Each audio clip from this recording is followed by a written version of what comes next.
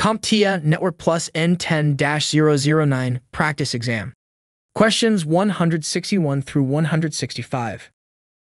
This video is part of our practice exam video series and is filled with questions that closely resemble the real exam. So are you prepared to test your knowledge? Great, let's begin. Question 161. A network administrator needs to centralize log collection for all web servers to improve monitoring and troubleshooting. The solution must send event data over port 514 to a dedicated log server. Which of the following services will best accomplish this task?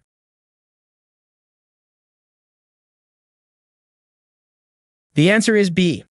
Syslog. Syslog is a standardized logging protocol used to collect and transmit event messages from network devices, servers, and applications to a centralized log server. It operates over port 514 and allows administrators to monitor system activity, detect issues, and ensure compliance.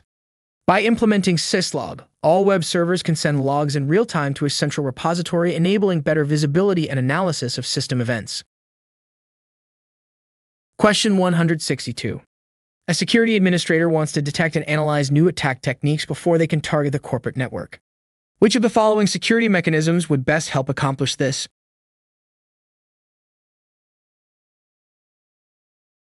The answer is C. Honeypot.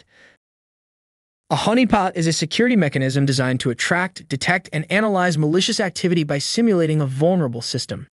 Attackers, including those using zero-day exploits, may attempt to compromise the honeypot, allowing security teams to observe their techniques and develop countermeasures. While solutions like next-generation firewalls and intrusion prevention systems can detect threats, a honeypot is specifically designed to study attacker behavior and uncover unknown threats in a controlled environment. Question 163. A network administrator is troubleshooting a network issue and needs to determine which switch port a specific PC is connected to. After using the show arp command to find the MAC address associated with the PC's IP address, which of the following commands should be used next?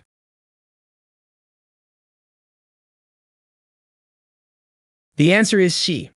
Show MAC address table. The Show MAC address table command is used to display the MAC address table on a switch, showing which MAC addresses are associated with specific switch ports. After using show showarc to identify the PC's MAC address, the administrator can use show MAC address table to determine the exact switch port the PC is connected to. This helps in troubleshooting connectivity issues or verifying physical connections within the network. Question 164. A remote employee frequently accesses the company's intranet site to download internal documents. Today, after typing the usual web address, they are redirected to a website that looks similar but is prompting them to enter login credentials again. Which of the following is the most likely cause?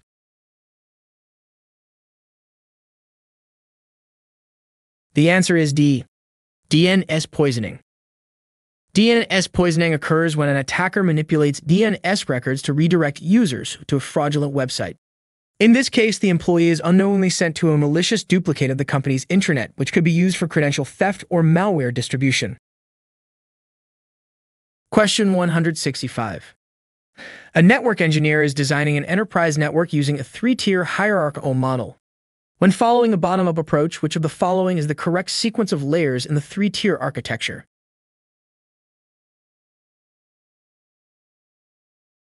The answer is A access, distribution, and core. The three-tier hierarchical model consists of access, distribution, and core layers. The access layer connects end-user devices to the network. The distribution layer aggregates traffic, applies policies, and routes between VLANs. The core layer provides high-speed backbone connectivity. The bottom-up approach starts from the access layer and moves upwards, ensuring a scalable and efficient network design. So did any of these questions give you a tough time? Don't worry if they did. It's all part of the learning process. Luckily, Certification Cynergy has a wealth of free video content at your disposal. To stay connected with our latest IT learning resources, just give a quick click on the subscribe button. This simple action ensures you're always updated about our newest video releases.